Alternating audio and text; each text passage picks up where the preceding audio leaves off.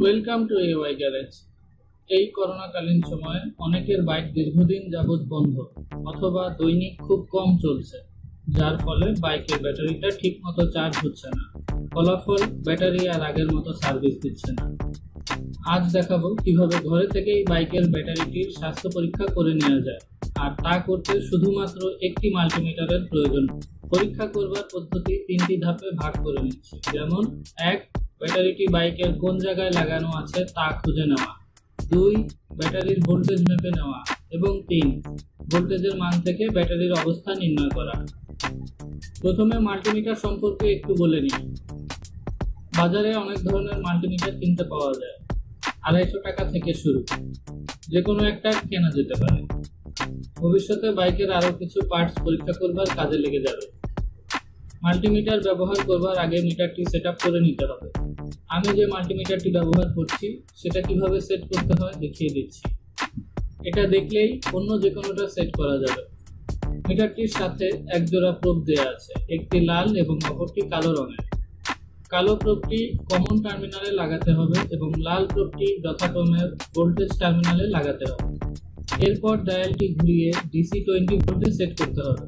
ব্যাস, metre set up করার কাজ শেষ। ভালো কথা। ব্যাটারি পরীক্ষা করবার আগে অবশ্যই বাইকের ইঞ্জিন অন্তত তিরিশ মিনিট বন্ধ রাখতে হবে। তাহলে সঠিক মান পাওয়া যাবে। সম্ভব হলে যে কোনো দিন প্রথমবার বাইক স্টার্ট করবার আগে পরীক্ষাটি সম্পন্ন করে নেওয়া যেতে পারে। অনেক লেকচার হলো, এবার তাহলে বাইকের দিকে যাই। বাইকের ব্যাটারি কোথায় লাগানো আছে জানবার জন্য ম্যানুয়াল দেখে নেওয়া যেতে পারে। এই বাইকটির ব্যাটারি বাম দিকে সাইড প্যানেলের পেছনে। তাই প্যানেলটি খুলে নিচ্ছি। ব্যাটারির দুইটা টার্মিনাল একটি পজিটিভ অন্যটি নেগেটিভ টার্মিনাল দুটি চিনবার জন্য ব্যাটারির গায়ে প্লাস আর মাইনাস সাইন দেয়া থাকে। এছাড়াও দেখা যাচ্ছে পজিটিভ টার্মিনালে লাল রঙের তার লাগানো এবং নেগেটিভ টার্মিনালে কালো রঙের তার লাগানো। এবার মাল্টিমিটারের প্রোব দুটি নিয়ে কালো প্রোবটি নেগেটিভ টার্মিনালে ধরতে হবে আর লাল প্রোবটি পজিটিভ টার্মিনালে ধরতে হবে।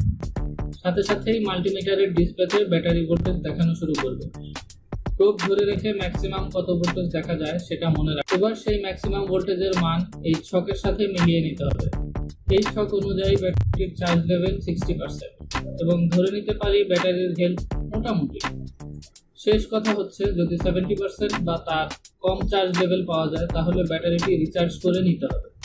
অ্যাসিড ব্যাটারির চার্জ লেভেল সেভেন্টি পার্সেন্টের যত নিচে থাকবে ব্যাটারির আয়ু তত কমে যাবে। তাই চার্জ সেভেন্টি পার্সেন্টের বেশি কমতে না দেওয়াই উত্তম। ফিফটি পার্সেন্টেরও কম চার্জ লেভেল থাকলে ধরে নিতে হবে ব্যাটারির স্বাস্থ্য খুব খারাপ। ব্যাটারি একেবারে বসে যাওয়ার আগেই ব্যবস্থা নিন, না হলে কিন্তু একদিন ধাক্কা দিয়ে স্টার্ট করা লাগবে। এই ভিডিওটি দেখার পর যদি কিছু বুঝতে অসুবিধা হয়, তাহলে ভিডিও ডেসক্রিপশনে একটি ছোট্ট ম্যানুয়ালের লিঙ্ক দেওয়া আছে। ডাউনলোড করে নেবেন। আশা করি সেটা দিয়ে অনেকের উপকার হবে। ভিডিওটি ভালো লাগলে চ্যানেলটি সাবস্ক্রাইব করতে পারেন। আজ এ পর্যন্তই। ভালো থাকবেন।